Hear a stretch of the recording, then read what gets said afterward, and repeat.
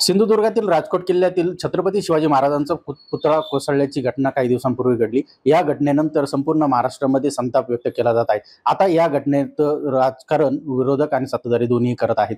आता आपण या पुतळ्याची नेमकी पुतळा कोसळला कसा आणि ते कोसळल्याची कारणं काय असू शकतात याबाबत जाणून घेण्यासाठी आज आपण नगर शहरातील सुप्रसिद्ध शिल्पकार प्रमोद कांबळे यांच्याकडे आलेलो आहोत. आपण सरांकडनं जाणून घेऊया नेमकं काय कारण असू शकतं या- आणि याला काय करू शकतात? सर नेमकं पुतळा कोसळला हे काय कारण असू शकतं मला जे माहिती मिळाली त्याचं सगळ्यात पहिलं कारण म्हणजे जो जो शिल्पकार आहे त्याच्या त्याला कामाचा तो केवळ तेवीस चोवीस वर्षाचा मुलगा आहे.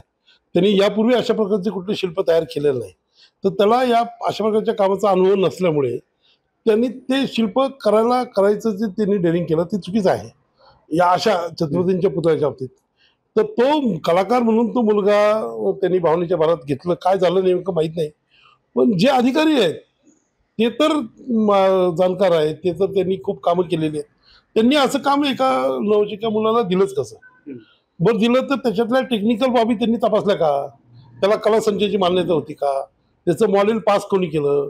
ते झाल्यानंतर त्याच्या स्ट्रक्चरच्या बाबतीमध्ये त्यांनी चर्चा केली का? ह्या सगळ्या गोष्टी आता बाहेर येतील. मला असं वाटतं त्या जर तपासला गेल्या असत्या किंवा ते जर बघितलं गेलं असतं तर ही दुर्घटना घडली नसती. पण त्यांनी काय केलं की त्यांनी त्याच्यावर विश्वास ठेवून त्याला ते का अतिशय कमी वेळात वेळ हा पण खूप महत्त्वाचा फॅक्टर आहे त्याच्यामध्ये की खूप कमी वेळामध्ये असं काम केलं तर मग असं होतं जेवढी झटकीपट तुम्ही करा जाता तर कुठलाही शॉर्टकट हा यशाच्या शिखरापर्यंत तुम्हाला नेऊ शकत नाही. तर तो शॉर्टकट नको होता घ्या स्वीकारायला नको होता तो तो त्यांनी स्वीकारला. तरी देखील त्याच्या मजबूतीसाठी म्हणजे त्याचं स्ट्रक्चर आहे. त्या स्ट्रक्चरसाठी जे काही तज्ज्ञांचं मार्गदर्शन घ्यायला पाहिजे होतं. स्वतः समजा नव्हता. जे मार्गदर्शन त्यांनी घ्यायला पाहिजे होतं ते घेतलेलं तिथं दिसत नाही.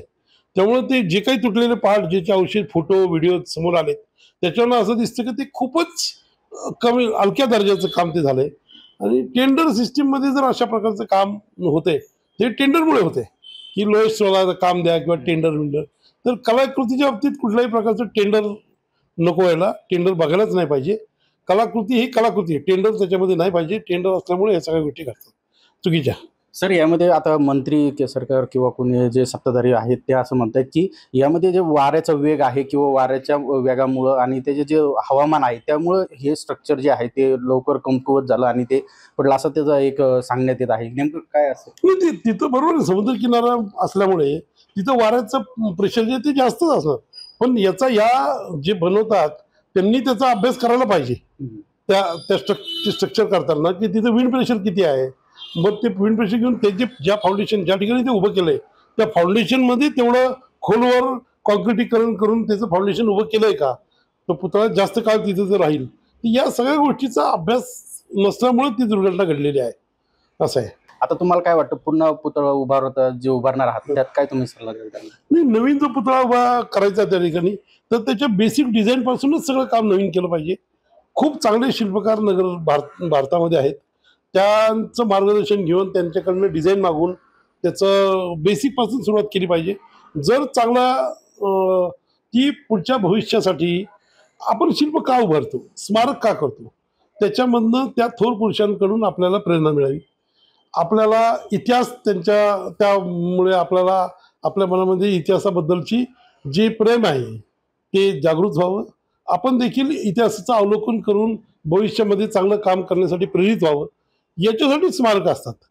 ती स्मारकं नुसतीच बिल्डिंग आणि पुतळे नाही आहे त्या पुतळ्यामधनं पुतळ्याच्या मागचा उद्देश असा आहे की त्यांचे विचार त्या त्या महान ज्या व्यक्तीचं आपण शिल्प उभं करतो त्या व्यक्तीचे विचार तुम्हाला लगेच स्मरण पाहिजे. म्हणजे एखादा शिवाजी मा छत्रपती शिवरायांचा पुतळा आपण बघितला किंवा स्वामी विवेकानंदचा बघितला तर तो पुतळा बघितल्यानंतर आपल्यामध्ये त्यांच्या विचार त्यांचे विचार जागृत होतात.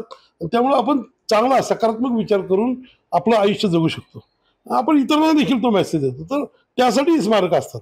त्याच्याकडून प्रेरणा घ्यावी. तर शिल्प बघून महाराजांचं शिल्प बघून असं वाटलं पाहिजे की महाराज आहेत ना तर आपल्याला भीती नाही. तो जो एक विश्वास आहे की महाराजांचं चित्र किंवा चित्रशिल्प बघून अशी अशी एक विचार मनामध्ये आला पाहिजे की अशी एक प्रेरणा मिळाली पाहिजे की महाराज आपल्या पाठीशी मग आपल्याला कशी भीती नाही. तर याच्यासाठी चित्र आणि स्मारक आहेत. तर तेवढंच तेवढं प्रभावी ते स्मारक होतंय का याचा विचार प्रत्येक कलाकारांनी केला पाहिजे असं मला वाटतं. महाराजांच्या शिल्पाबाबत किंवा आणि कोणतेही शिल्प असू द्या त्या शिल्पांमध्ये प करताना पूर्ण विचार करून त्यात केलं पाहिजे असं सरांचं म्हणणं आहे. गिरीश रासकर नवराष्ट्र अहमदनगर.